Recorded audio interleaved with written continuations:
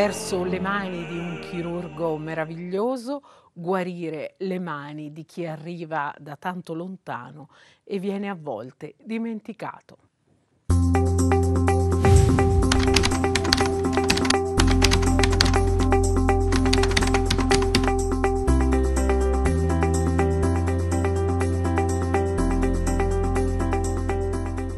Famiglia cristiana ha sempre tantissime storie da raccontarci. Questa volta in copertina c'è Ilari Blasi che ci fa pensare naturalmente allo sport attraverso il celeberrimo marito Francesco Totti, ma ci fa anche pensare a come appunto la personalità femminile possa essere interpretata non solo attraverso la bellezza. Uniti siamo tutti più forti in Europa ma anche in casa. Alla guida guida del nuovo Giochi senza frontiere, Ilari Blasi, appunto. È molto interessante anche l'esclusivo documento sulle riflessioni inedite di Sandro Pertini che riguardano anche l'aldilà. Pertini è stato un monumento, potremmo dire, della storia italiana a metà del XX secolo, anche se noi tutti ricordiamo soprattutto la fase conclusiva della sua lunga carriera, cioè quando è stato Presidente della Repubblica. Però io eh, oggi voglio dare la precedenza a un'altra figura, un uomo certamente non celeberrimo come eh, le due eh, i due personaggi, se vogliamo, che vi ho appena citato. L'Italia che accoglie un racconto di Eugenio Arcidiacono con le foto di Attilio Rossetti, Massimo del Bene, qualcuno dirà nomen omen, visto il suo cognome, chirurgo al San Gerardo di Monza, opera migranti con gravi ferite agli arti superiori inferte nei campi libici. Ecco come la vita torna nelle loro mani. È un chirurgo abbastanza in età, potremmo dire che la sua carriera è certamente almeno trentennale e nello scatto mostra anche la lastra eh, di eh, un migrante cui era stato rotto il braccio e poi c'è di molto peggio, più impressionante.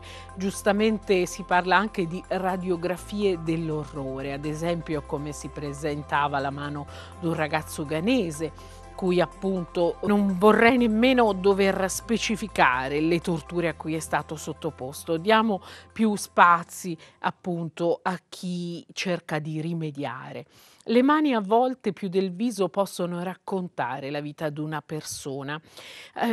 Alcuni eh, di questi, di questi uomini martoriati, come Mohammed, 20 anni, hanno avuto delle mhmm, torture talmente incredibili che appunto eh, non le si racconta neppure, però attraverso Caritas a uno, a tanti per meglio dire, di questi poveri ragazzi capita anche di finire sul lettino di un ospedale dove appunto li si cura. L'ospedale di San Gerardo a Monza. Gli è andata bene, qui si parla di un ragazzo a cui la mano non è stata del tutto staccata e che per fortuna ha avuto poi ehm, questo chirurgo che eh, dopo tre operazioni l'ha eh, potuto riportare comunque a un uso dell'arto. Da due anni cura gratuitamente persone che vengono dalla Libia.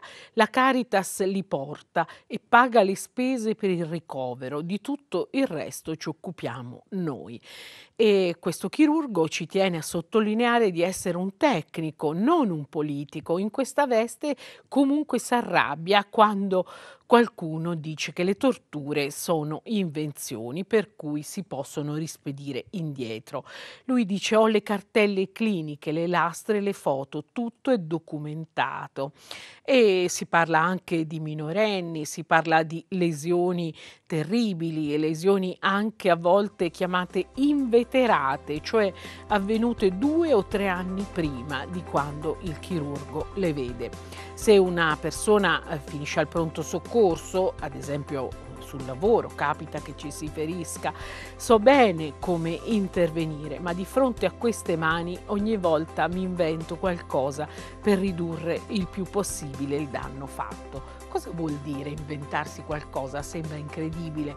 Ovviamente si parla anche di chi chirurgie eh, di precisione, di microchirurgia quando si parla della mano e invece appunto questo chirurgo è stato capace di restituire anche con qualche salto mortale in sala operatoria, staremmo per dire ingenuamente, una speranza in chi i segni li porta comunque anche nell'anima e nella psiche, ma che almeno ha potuto vedere l'altra faccia, potremmo dire, dell'umanità.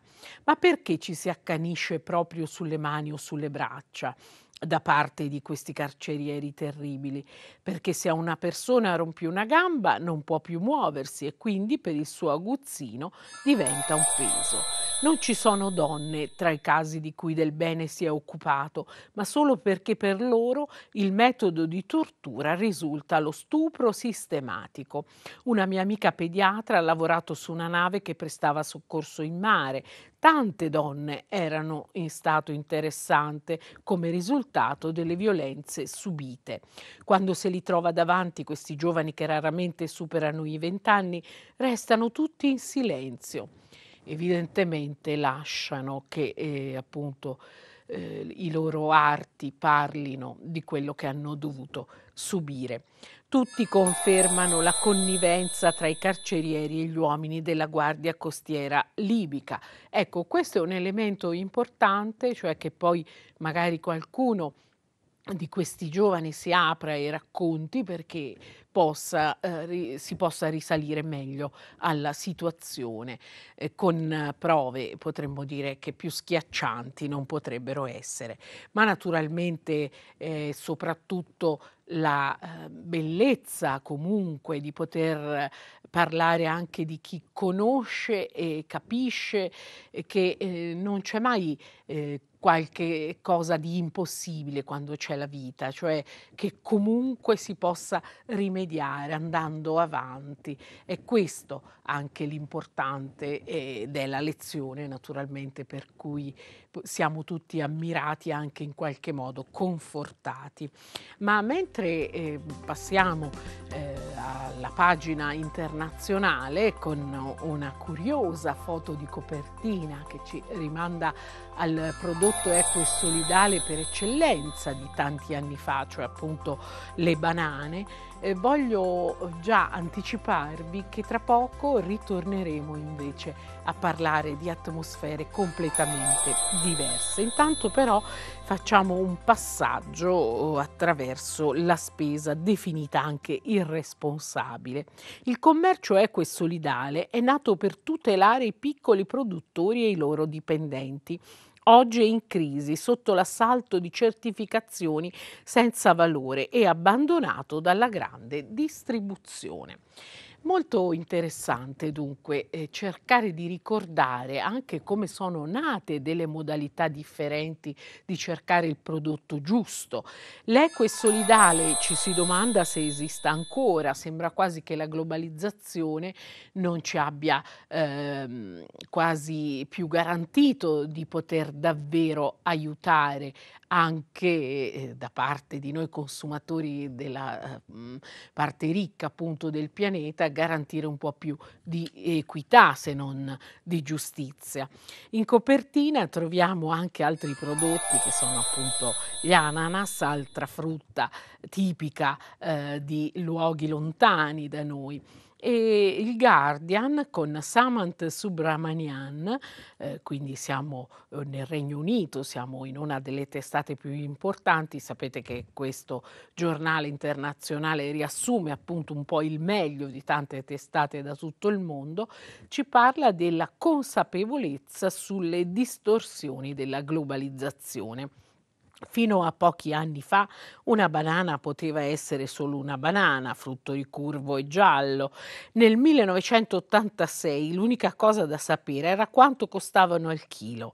Nessuno si chiedeva se fossero biologiche o senza pesticidi, se venivano dalla Costa Rica o dalla Repubblica Dominicana. Nessuno si preoccupava degli agricoltori che le avevano coltivate.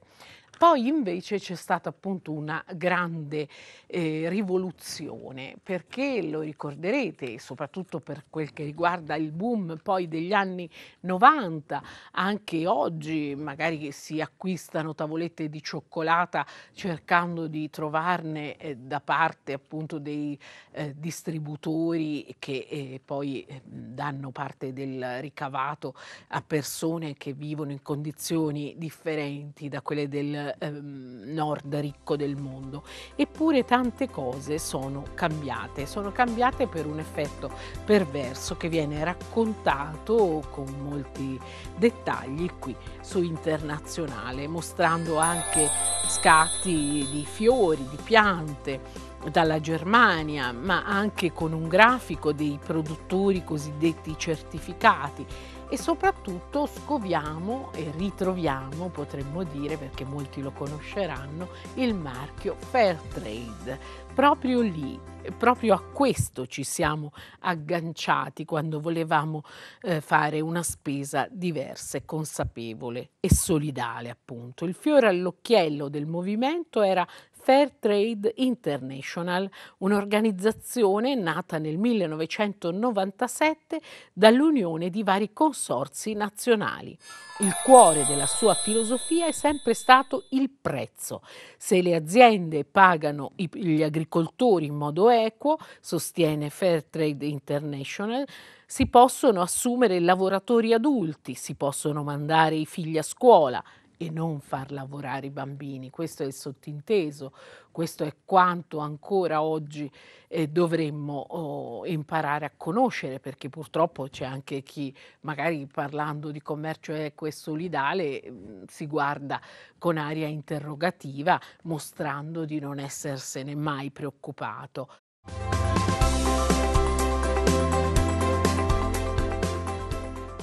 Oggi però le maggiori aspettative di sostenibilità che Fairtrade ha contribuito a diffondere in tutto il mondo stanno producendo un effetto perverso che prepara il terreno alla fine del movimento.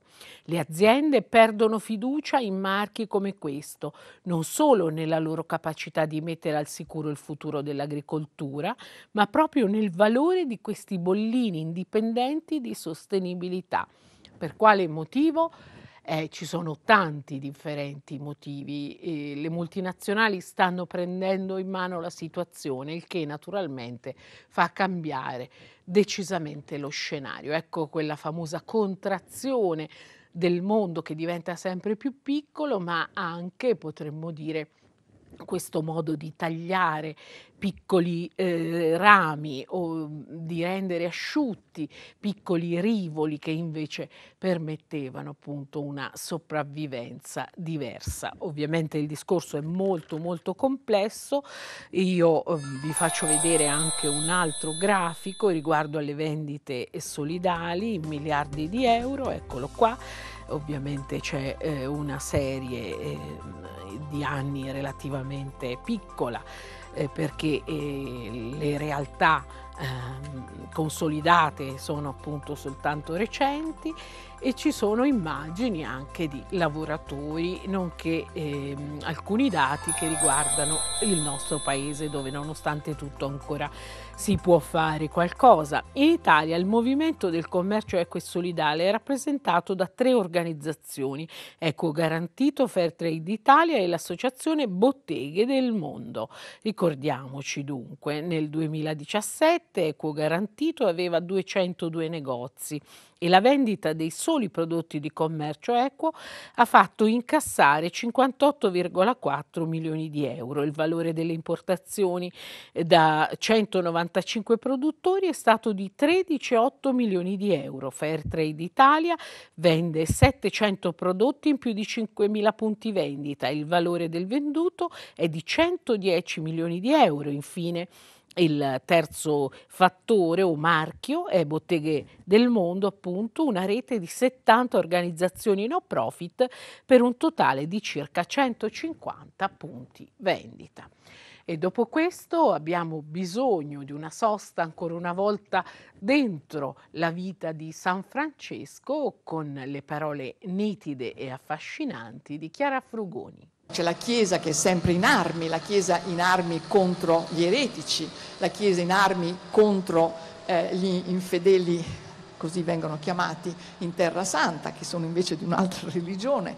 E ci sono anche però le guerre, le guerre politiche fra imperatore e papa, quindi è una veramente è una vita tutta di guerra e la gente addirittura era stupita e all'inizio prendeva per pazzi questi francescani che dicevano pace, era qualcosa che sembrava impossibile. E invece questo è il saluto francescano, quindi è uno dei punti importantissimi di Francesco. Quindi questo cantico, e adesso eh, ne vediamo poi eh, la fine, è un cantico che distilla veramente i punti qualificanti eh, della visione di, eh, di, di Francesco. E poi passa ancora del tempo e a un certo punto il medico gli dice che ormai ha poco da vivere. E allora, eh, e allora, Francesco chiama frate Angelo e frate Leone, che sono i suoi amici eh, più cari, insieme a Rufino, e eh, aggiunge un'altra strofa e chiede che gliela cantino.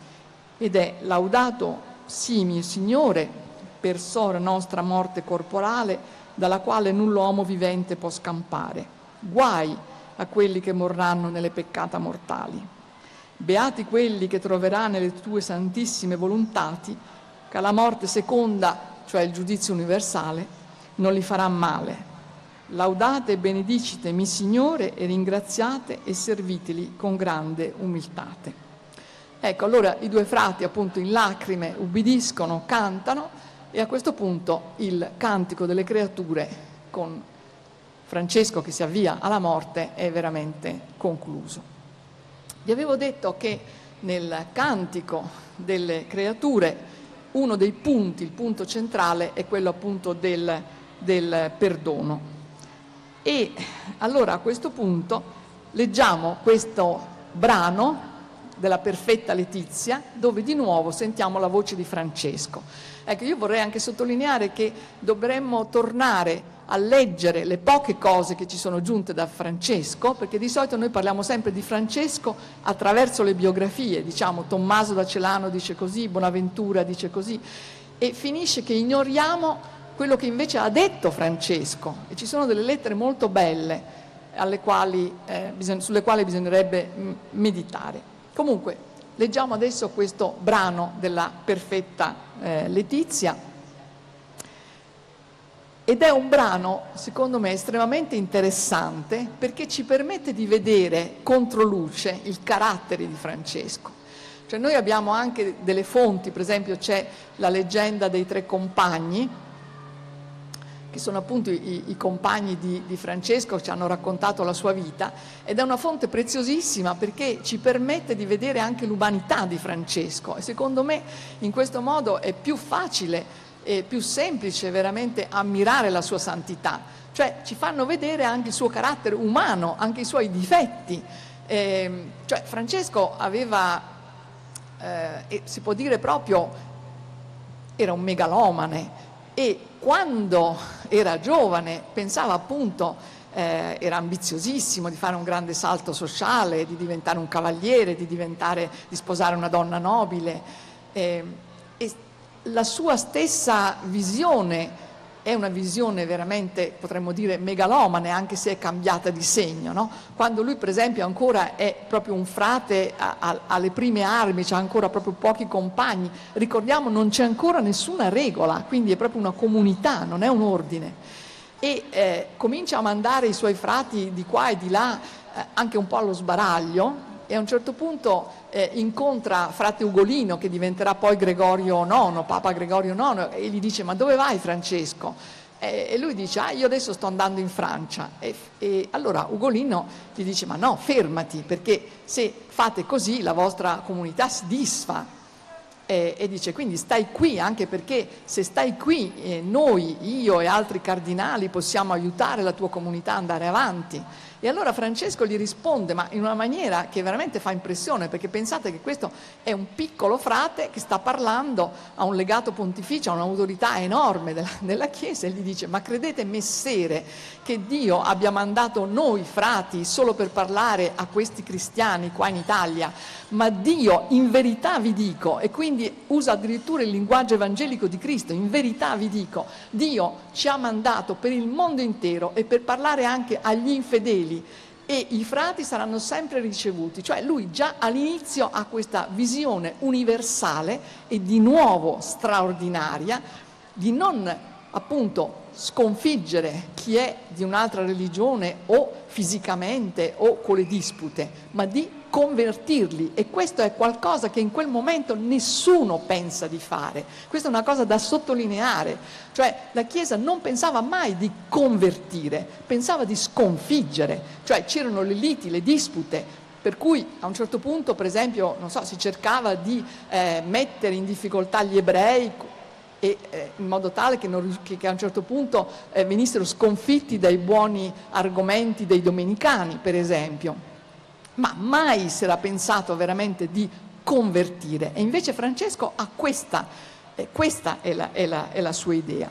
Allora, tornando alla perfetta Letizia, noi vediamo in filigrana, in realtà, anche se sublimati, il carattere di Francesco, che è un, una persona straordinariamente ambiziosa, che ci tiene al successo, ma che è riuscita a dominare questi sentimenti così umani e appunto a liberarsene, perché la sua idea è quella di avere la mente libera, come del resto Santa Chiara, che è una santa straordinaria, purtroppo messa molto di lato, e che invece eh, non solo, cioè, vedete come parla di San Francesco, quindi chiaramente si capisce che è un santo che amo molto, ma devo dire che Santa Chiara per certi lati ha portato avanti e migliorato eh, il, il progetto di San Francesco, ora non c'è tempo di, di parlare di questo.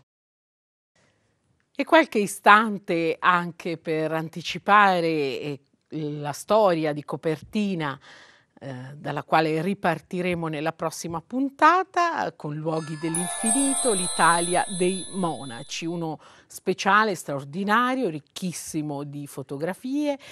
Tra l'altro andremo anche a rivedere meglio alcuni scatti dell'isola di San Giulio d'Orta, ne abbiamo parlato a proposito di Anna Maria Canopi, la badessa e fondatrice del monastero Mater Ecclesiae, così importante per la spiritualità ritrovata negli ultimi decenni, ma naturalmente c'è anche grande spazio proprio alle origini dell'Italia dei monaci, come viene raccontato in questa didascalia. Medioevo e monachesimo sembrano quasi inscindibili. È impossibile comprendere quel luminoso periodo della storia senza la civiltà generata dai monasteri, rete fisica e spirituale che plasmò l'Europa nella sua insuperata unità di fede e cultura. E come sappiamo ai nostri giorni queste vicende, ma soprattutto il lascito, l'eredità eh, di quelle straordinarie vite è sempre più importante. Anche per questo ci ritorneremo insieme. Occhio al mondo